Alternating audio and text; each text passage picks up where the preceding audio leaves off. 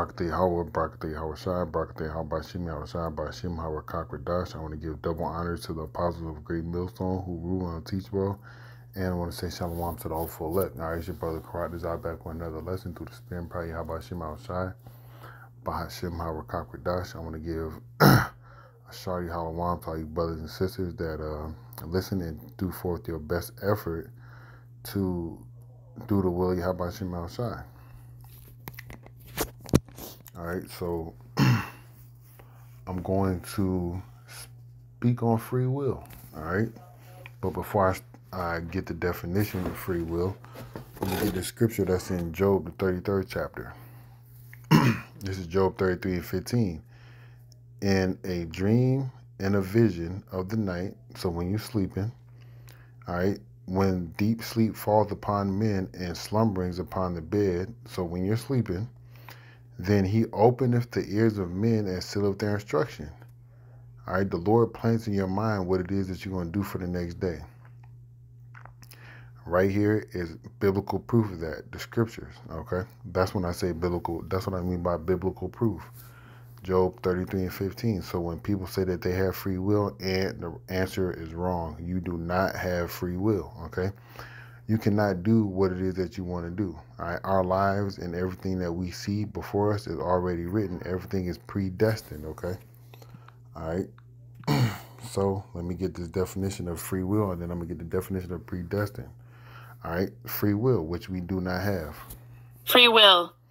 It says the power of acting without the constraint of necessity or, fa- or fate. The ability to act at one's own discretion. You do not act at your discretion. You act at the discretion of Yahweh Shema Shai. Okay? All right. You do what the Lord wants you to do. You do what the Lord programmed you to do.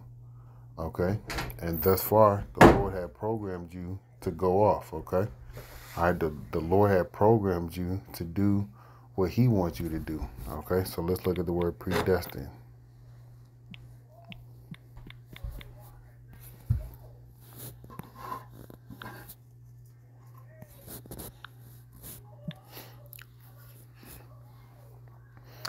Predestination. Predestination.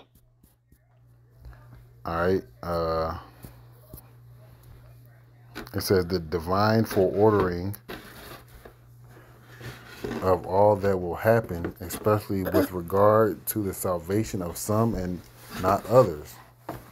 It will particularly associate with the teachings of I I don't know any of that Saint Augustine and Hippo and, and F. Calvin.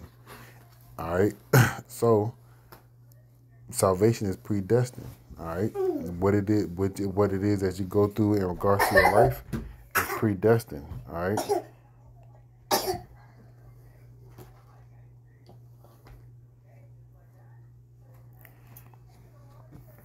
I'm gonna read this. What does predestination mean? The act of predestinating, the state of being predestined. Put that down the doctrine uh, that Yahweh, in consequence of his foreknowledge of all events inf- infallibly, infallibly guides those who are destined for salvation. And those that are destined for salvation are saved through faith, man, and grace in the Lord, not by the works, okay? All right, and grace is predestined, okay? But going back into free will, okay? Go get, uh, let's see this, Lord's will.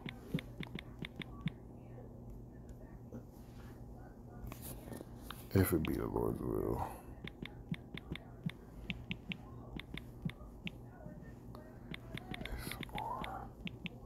I'm trying to find it. I can't off the top of my head or that.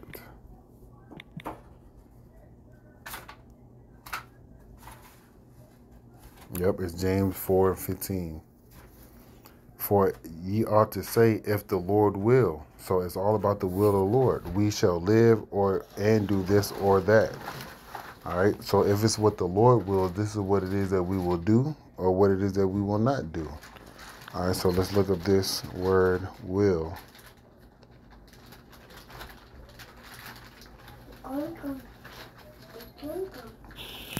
Strong's G 2309. Fellow. Fellow. All right, the word is thelo, okay? And that's in the Greek. And it says to will, have in mind, intend. So whatever the word, whatever the Lord Salak has in his mind or he intends for us to do, which he seals within our minds while we're sleeping, we're going to do so, okay? All right? Whatever his purpose is, it says to purpose, to to desire, to wish, okay? Whatever the Lord desires us to do or wills us to do, it is sealed within our instructions by us being asleep, okay?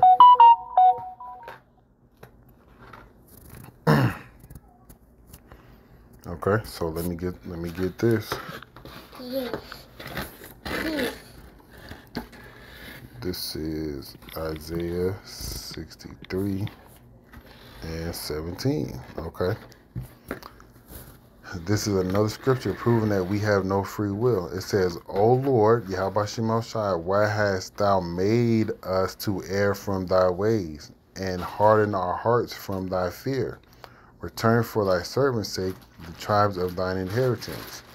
The people of thy holiness have possessed it but a little while. Our adversaries have trodden down thy sanctuary. We are thine, thou hast bearest rule over them. Thou never bearest rule over them.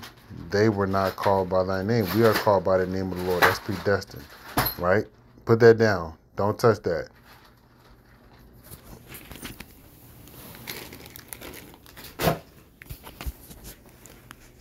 but the whole point is number 17, okay? Verse 17, which I'm going to read again. It says, O Yahweh Shai, why hast thou made us to err from thy ways. The Lord caused us to sin against him so he can show forth his power and fulfill all the scriptures that is written in the Old Testament and in the New Testament in regards to salvation for the Israelites, okay? All right, and, and harden our hearts from thy fear. Return for thy servant's sake the tribes of thine inheritance. And we are the Israelites, the tribes of the Lord's inheritance, okay? But my whole point of reading it is, is you have no choice in what it is that you do. The Lord has made you do what it is that you do. Okay, get two more scriptures. This is Jeremiah 10 and 23. Oh, Yahweh Shema Shai, I know that the way of man is not in himself. It is not in man that walketh to to direct his steps. The Lord guides our steps, man. That's why we have to pray for the Lord to guide our steps in truth and in justice, man. I was reading the book of Tobit earlier, and and Tobit prayed unto the Lord uh, that he he could be taken out of this earth. But that man walked in truth and in justice, man. All right, he he he he gave alms. He uh, buried the dead of Israel when they was being hung. Okay, all right. Um, he he went and sacrificed unto the Lord when everybody else was sacrificing to the heathen gods. Okay, all right. That was an upright man.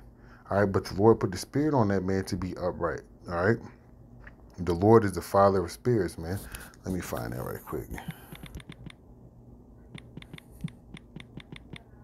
The Lord can put a spirit on you to do this, and the Lord can spirit, put a spirit on you to do that. All right, this is Hebrews 12 and 9. Furthermore, we have had fathers of our flesh which corrected us. All right, like if you're a father, you correct your kid. All right, you were a kid, your father, if he was in the household, he corrected you. All right, and we gave them reverence. Shall we not much more Shall we not much rather be in subjection unto the Father of spirits and live? The Father of spirits is Yahweh Shem Shai, and how we are, and how we, how are we under subjection unto Him through His will, all right, through His way, through His word, all right, through His law that He gave unto the Israelites, man. Okay. Let me grab this in Proverbs. Then I'm gonna close out, man. There's no such thing as free will.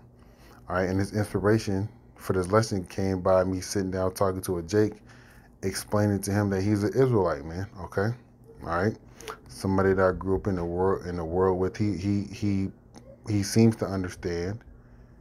All right, but he has to, like we all have, have to and continue to do, come up out of the ways of the world. All right, Lord will that that happens with that man. Okay. All right, but Proverbs 20 and 24, man's goings are of Yahweh Shema Shai. How can a man then understand his own way? You are not in control what it is that you do. The Lord put the Spirit on me to do this lesson to talk about free will. That was the Lord's will, not mine, not anybody else's. Okay? All right? it was the Lord's will. The Lord's will shall be done. Okay? All right? On earth as it is in heaven. That's what we pray when we pray the Lord's Prayer, right? So with that, I want to give all praises to Yahweh, by Hashem Yahushai, by Hashem Hawakak Dash. I want to give double honors to the apostles of Great Millstone who rule well and teach well. And I want to say shalom to the hopeful elect.